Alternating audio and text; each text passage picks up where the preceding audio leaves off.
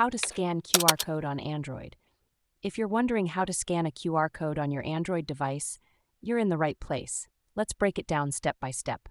First, there are a few different ways you can scan QR codes, and the method you choose might depend on your device and what apps you have installed. Using the native camera app. On many newer Android devices, you can use the native camera app to scan QR codes.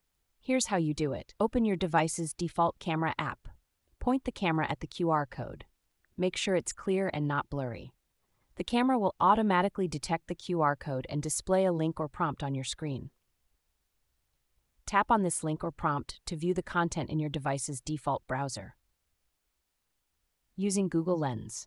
Google Lens is another powerful tool for scanning QR codes, and it comes pre installed on most Android devices. Open the Google Lens app or access it through the Google widget on your home screen. Point the camera at the QR code. Google Lens will quickly recognize the QR code and show you the associated link or content. You can tap on this link to open it in your browser or perform other actions like opening apps. Using third party apps.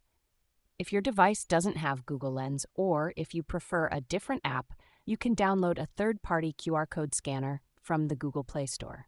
Download an app like QR Scanner, QR, and Barcode Reader, or Trend Micro's Safe QR Code Reader. Open the app and point the camera at the QR code.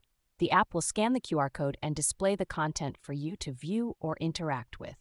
Scanning QR codes from existing images. Sometimes you might need to scan a QR code from an image you already have on your device. Open Google Photos or Google Lens. Locate the image with the QR code and open it. If using Google Lens, it will show you the URL above the QR code. Tap on it to view the content.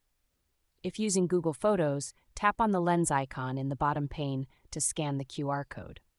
Tips for scanning QR codes. To ensure smooth scanning, make sure the QR code is clearly visible and not smudged or blurry. Keep your camera lens clean and adjust the distance between your camera and the QR code until it scans correctly.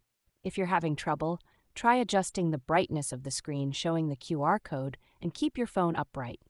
By following these steps, you should be able to scan QR codes effortlessly on your Android device, whether you're using the native camera app, Google Lens, or a third party app. Happy scanning!